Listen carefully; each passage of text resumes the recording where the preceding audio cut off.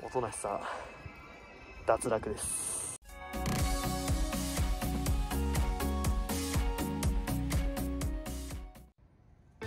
新年おめでとうございます。チャンネル登録者数1000人も達成しまして皆様のご愛顧に厚く御礼申し上げます。えさて本日は多摩の首都八王子市は八王子駅におりますが一体何をするのでしょうか。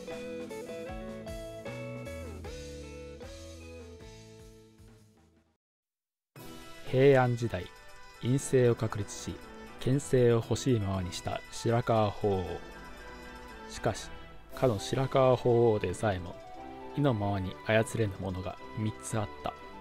鴨川の水山法師そしてすごろくの際。人の思惑を超越し一人でに転がるサイコロに旅路を任せ途中下車。ということで今回行いますのはすごろく強制途中下車の旅八高線編でございます。ルールは至ってシンプルです。サイコロを振って手ための数だけ進んで途中下車。またサイコロを振って出た目の数だけ進んで途中下車と。その繰り返しでもって八高線の便宜上の終点高崎に終電までにたどり着けたら万歳と。これ単純明快なものです。ただしもし1の目が出てしまったら一駅歩かねばなりません。そこんとこよろしく。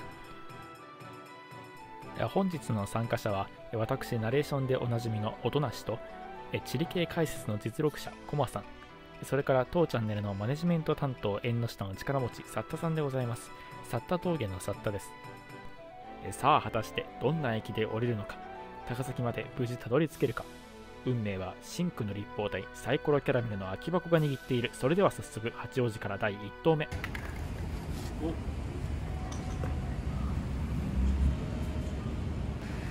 じゃあ4じゃあ4これをということは、えーと北八王子小宮拝島の東福生。はい。東福生です次は。よし行きましょう。ここで八高線の外境です。なお撮影日は大晦日につき休日ダイヤとなっております。まずはじめ八王子から駒川までの電化区間でございますがこちらは基本的に毎時2本の運転。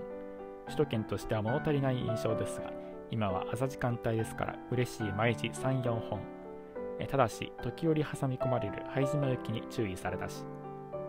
続いて駒川から先非電化区間の海峡です。ここから本数がほぼ半減しまして毎時1本の運転。頭の物差しをローカル線の間隔に切り替えればまだまだ充実のラインナップ。ただしこの道中で最も気をつけたいのは小川町から小玉までの区間。実は小川町や小玉を始発終点途通列車が日中時間帯に設定されておりちょうど間に挟まれたこの区間では特に日中2時間待ちの珍しいものではありません。1日の乗降客数が埼玉県内最小の駅竹沢をはじめのどかな雰囲気漂う駅が連続する区間でもあります。ここで長い待ち時間をいかに充実したものにできるかも大いに見どころとなりましょう。外境を終わります。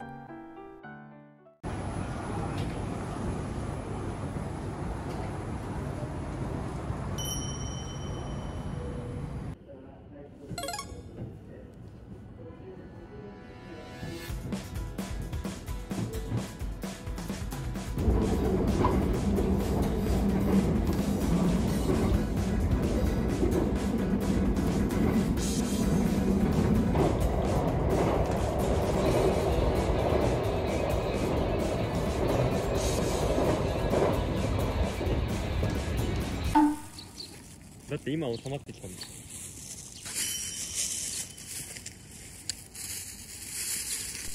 なんで？えーここで音無し自ら弁解いたしますが、えー私はここ半年ほど、えー乗り物に乗るあるいは人混みに行くと、えー、稀に唐突に動悸がして、えー呼吸が早く気持ち悪くなると、えーそういう発作的な症状に悩まされております。もともとね、三半規管は弱い方だったんですけど、えー精神的な問題か、はたまた単なる寝不足か、えーともかくこれのせいで最近は日常生活に少々支障が出てきておりまして、えーすっかり虚弱体質が板についた今日この頃です。えーでも降りれば治るんですよね。どうも多摩交通局のコマです。えおい腹から声出せよ。ーえーちょっと声をですね。失礼いたします。近隣の住民の方にご迷惑になりますので、えーこのくらいの声で喋っております。では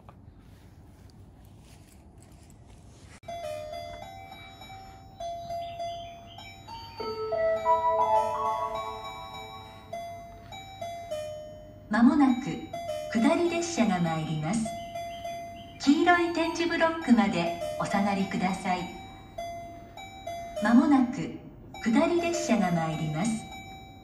黄色い点字ブロックまでお下がりください。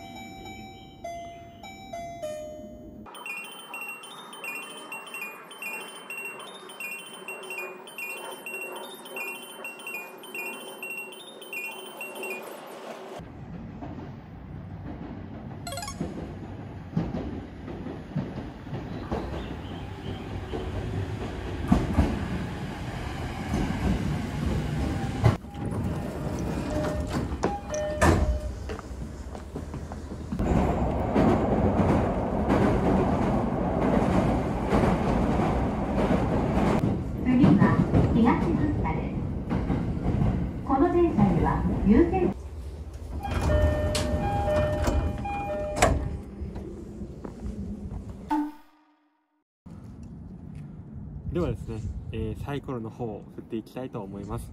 では。えー、目は5ですね。えー、5まあまあいいんじゃないですか。えーっと一応次にのが駅が、えー箱根ヶ崎。でその次が、えー金子。東半の駒川、えー、諸ですので、えー次向かう駅は諸駅でなります。体調大丈夫？微妙。微妙？え気持ち悪い感じなの？あ、まあ、ずっといるとね多分ね足手まといになるんですねいつあの気持ち悪くなるかわからないから。そっか。次さもろらしいけど。遠い。で途中降りたら終わるんですよ多分。あの相当不都合でねそうだね。駒川って接続だもんねうんさすがにそう今引き返すのは基地か。それ今今のうちで引き返すの。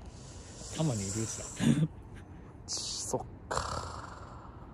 じゃあこればかりはもうしょうがないということで。おとなしさ脱落です。これ脱落とかそういう概念あるの？じゃあとりあえずなんかアメリカ軍のさ基地も近いわけだしさアメリカ軍風のさハイタッチをしますか？それはなんあれ知らないコロナタッチみたいな。こん茶茶番が長いんだ。こんな感じこんな感じこそうオッケーオッケー、はい。よし次を。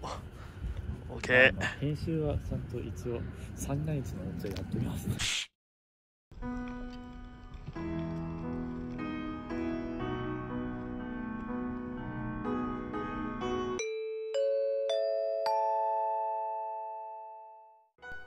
ということでね、いつ発作を起こすかわからないと、えーそうするとあ、まあ、企画進行の妨げになりますから、えー私は多摩地域にいるうちに離脱と、そういうことになりました。えー新春早々ね、不穏な話題で申し訳ないんですが、あ引き続きナレーションに徹していく所存です。気を取り直しまして、最後に一発目は東福生です。無人駅ですし、東とつくのでそこはかとなく影が薄いイメージがありますが、なんといっても横田基地の最寄り駅、ここから国道16号沿いを散歩するのに最適です。選挙に行こう。そうね次の今8時20分であと4分後に来る電車に乗ると駒川で20分待つみたいなだから次55分だと2分乗り換えになる次に乗っちゃうと駒川で待ちが発生する次の次の電車に乗ると接続がいいーなるほどしかもせっかくここさそうなんだよ降りてるわけだから横田ベース行こう横田ベース行こう。だからこのままここ出ちゃえ川越えるだけ。ば川っていうか川じゃねえか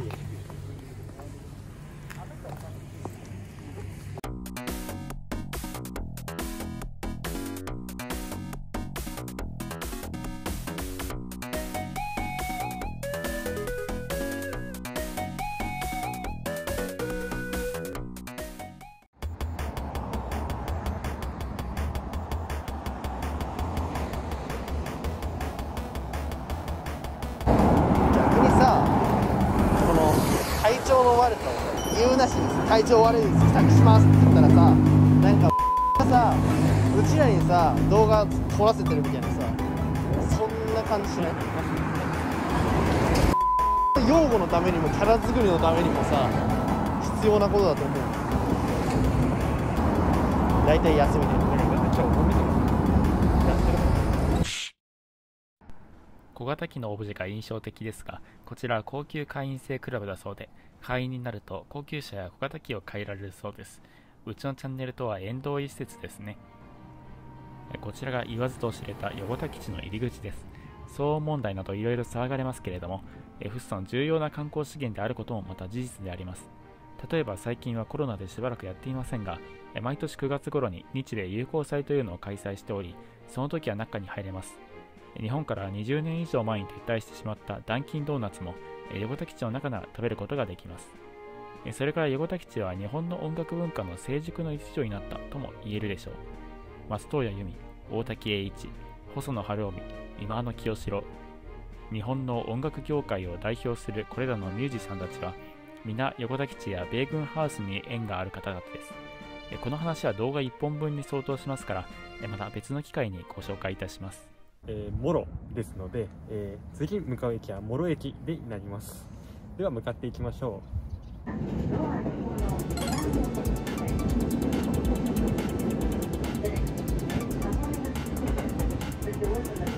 う。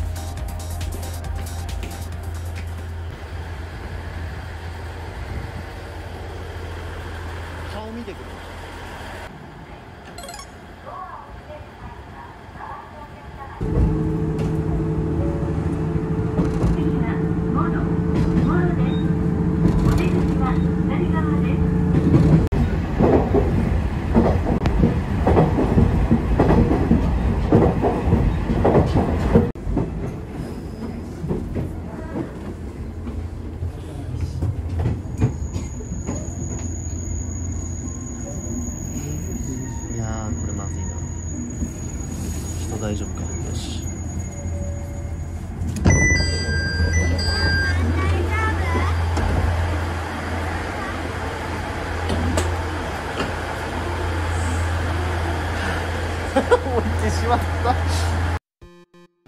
諸山町の玄関駅と言いたいところですが町内に3つある東武線の駅にお株を奪われて久しい諸駅。実の名産地やぶさめの町など諸だけに諸々の名物がある諸山ですがこの後一行どこへ行くのやら。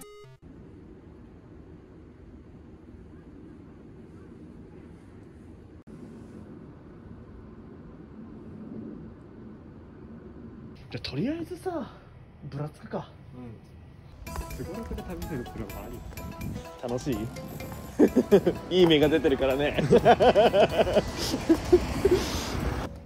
のやりたいのはあそこで。性格が悪いよ。吉駒出てるよ吉駒な。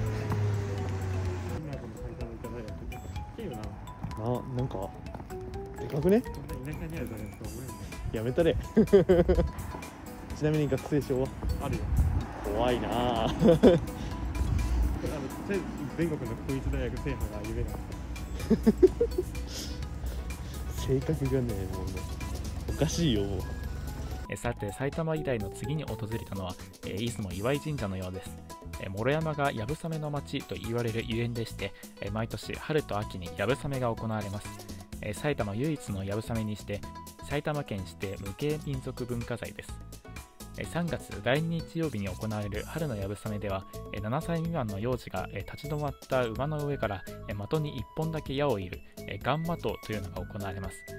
11月3日文化の日に行われる秋の流鏑では15歳前後の少年が3人それぞれ3頭の馬に乗って疾走する馬の上からよっぴいてひょうど放つ。イメージ通りの本格的な流鏑をご覧になりたい方は秋の流鏑をお勧めいたします。えちなみに本殿は国指定重要文化財です。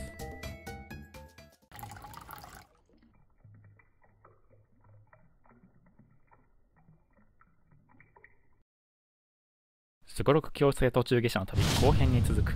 ほう。交通チャンネルとしてあるまじき行為。